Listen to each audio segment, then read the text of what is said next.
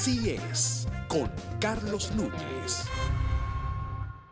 Aquí estamos amigos con Katy y un tema que, que debemos tocar, Katy, obligatoriamente porque somos venezolanos, porque nos duele el país.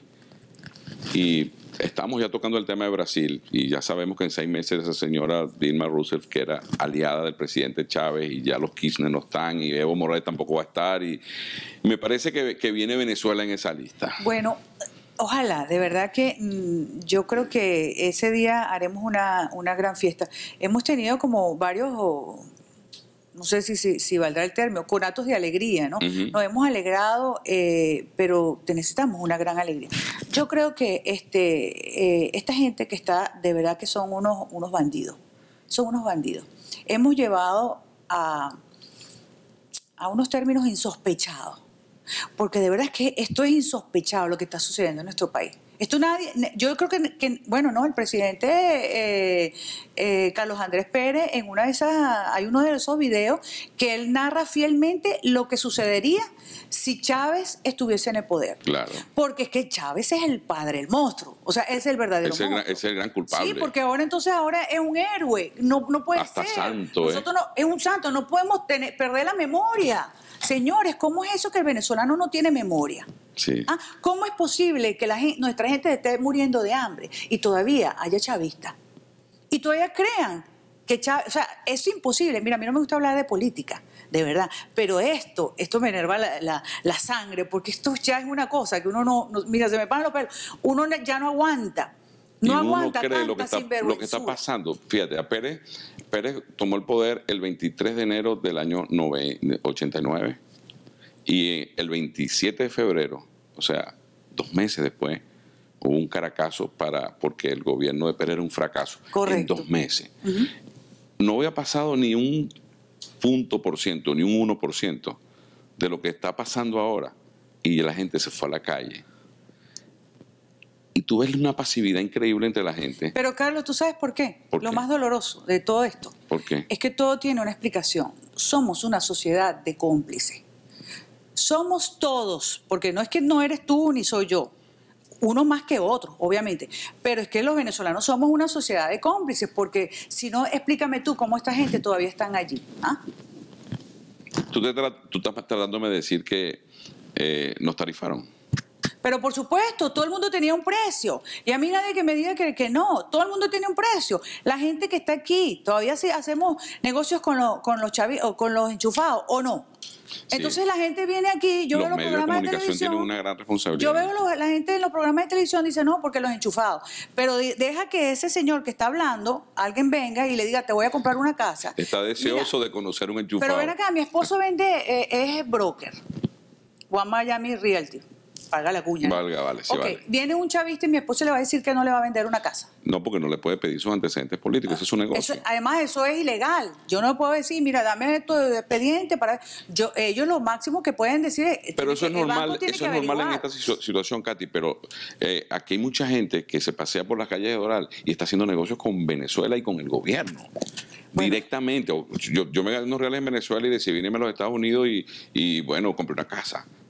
¿Verdad? Yo no estoy haciendo negocio, el Rialto por lo menos no está haciendo negocio claro, con, no está haciendo claro, negocio con el gobierno de Venezuela. Ah, bueno, si este señor está haciendo cosas indebidas, las, que se- las autoridades que se encarguen. ¿no? Exacto. Pero es que aquí hay mucha gente que se da golpes de pecho y lo he visto con banderas y Por, todo. por eso que te digo, por eso que te digo que somos una sociedad de cómplices. No es una, no es que tú le vendas. o- a mí viene mañana una persona y quiere anunciar en la revista. Yo no sé de dónde trajo su dinero, si su negocio es eh, eh, lo hizo porque fue enchufado o no fue enchufado. Yo no, lo- no le puedo decir que no, porque entonces le- Sí. de- de- sería de verdad lógico decirle que no. No, es que no puede. No puedo decirle que no, mira, no sé qué negocio es este. Por ejemplo, eh, recuerdo aquella vez este, que dijeron que un restaurante de sushi era de unos enchufados. O sea, y, y- y estaba haciendo publicidad por todas partes. Entonces, ¿qué hacen? Le quitan la publicidad. Sí. O sea, es un tema complicado este, de, porque nosotros estamos entre, entre enchufados y uno no sabe, uno no va a pedir, mira, dame, eh, ¿qué hiciste? ¿Te enchufaste? ¿Cómo fue? O sea, Pero sin embargo, difícil, sin ¿no? embargo, Katy, tenemos una, una sociedad que se alió por dinero con un gobierno. Sí, sí, En Venezuela también. Y todo el mundo está esperando a ver cómo hace para conectarse con un general. Claro. Porque tú sabes, este tipo de gobierno impusieron aquella tesis de que primero yo, segundo yo y tercero Y yo. tercero yo. Pero es que por eso es que Entonces, dura ¿qué 18 me importa, años. ¿qué me importa el país? que, eh, lastimosamente. Tú ves, no nos dimos cuenta que estaban desangrando al país, que estaban dejando, esta, regalamos nuestras reservas. O sea, ¿Y cómo salimos? ¿Cómo, endeudados. según un criterio de una mujer que se vino el 6 de diciembre, que, que llamó a su brujo y le dijo, vete porque esto se acabó, porque eso tiene que ser un brujo interno que tú tienes, y te dijo, vete porque sabías ya que lo que porque venía, porque a mí me pasó más o menos igual, solo que yo tardé un año más en convencer a Rosa para venirnos para acá. Eh, Pero, ¿cómo ves tú la salida? Mira, tú sabes que eh, es curioso, porque yo hace ratico estaba hablando con José, con José Hernández. Hernández. Y entonces eh, yo le digo, mira, yo no veo una solución pacífica, o sea, no veo una solución de verdad este, sin violencia. Yo creo que es por la violencia, lamentablemente, creo que es por la violencia. Pero entonces él me dice, pero más violencia. Y tiene razón, más violencia es imposible, porque esto que estamos viviendo en Venezuela es una guerra. Sí, lo que falta Pero- son los saqueos nada más. Es es el único detonante, pues, Sí. que, que yo creo que... que Y pero que bueno, creo que el gobierno quiere que pase eso porque van a culpar a la oposición de haber propiciado esos hechos y entonces plantean ya que es una guerra entre el gobierno y la oposición. Como tienen las armas y tienen el poder, pues entonces ganan la guerra y aplastan a la, a la oposición. Mentira, es un pueblo. Pero ellos tratan de decir que es la oposición porque ya están diciendo que los organizadores de los saqueos y de la, de la violencia y que se reunían con los PRAN, cuando todo el mundo sabe que es totalmente lo contrario, Exacto. entonces no, que es la gente de la oposición. Entonces están ellos como guindando en un hilito que les deje la oportunidad de tener una opción de, gan- de ganar, porque ellos no van a nunca ir a unas elecciones. Ellos han perdido muchas elecciones.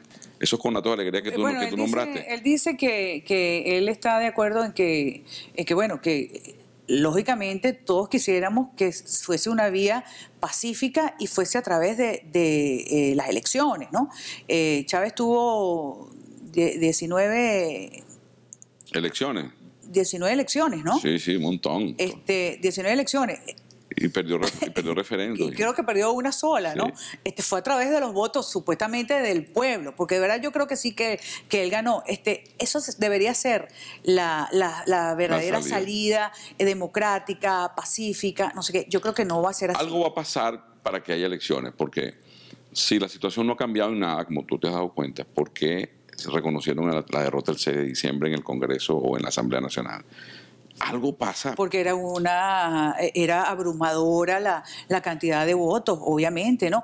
Pero fíjate tú que a pesar de toda esta situación, lo que te decía antes, todavía hay chavistas. Ahora explícame qué, qué es lo que eh, funciona en la mente de esta gente que todavía está venerando a una persona que no está.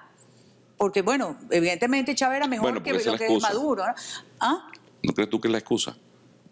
La verdad que yo no sé. Algo te- le tienen que estar dando a esa gente para que... Todos persiguiendo una pierna de cochino, todos andan buscando dinero, una solución a su Y tú me problema. perdonas, pero las Fuerzas Armadas, este, o sea, son unos bandidos Bueno, eso, todos. eso es la peor lacra que nos ha tocado. sí. Mira, vamos a un corte. Lo que, lo que están ahora, ¿no? Sí, vamos a un Debo corte decir. y vamos a entrar un poquito en el segmento que viene en un tema que yo sé que tiene otro tabla de política, pero vamos a tocar por encimita el tema de la política endoral y vamos a entrar en, en un tema que yo sé que te va, a que hablar te va de a la gustar revista. mucho. Vamos a hablar de la tu, de tu revista. revista, claro, por ya regresamos, amigos, con Katy para que hablemos de su, de su nuevo muchacho. De ese nuevo muchacho. Así es, con Carlos Núñez.